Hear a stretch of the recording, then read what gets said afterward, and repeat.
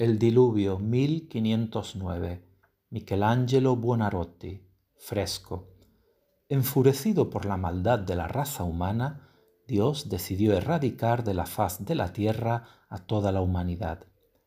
Pero Noé encontró favor a los ojos del Señor, que le ordenó la construcción de un arca, es decir, un barco techado, y que embarcara a su familia próxima y a dos criaturas, macho y hembra de cada especie.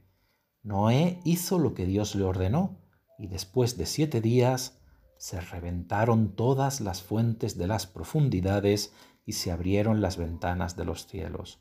Solo sobrevivieron los refugiados en el arca, que finalmente desembarcaron en el monte Ararat para repoblar la tierra.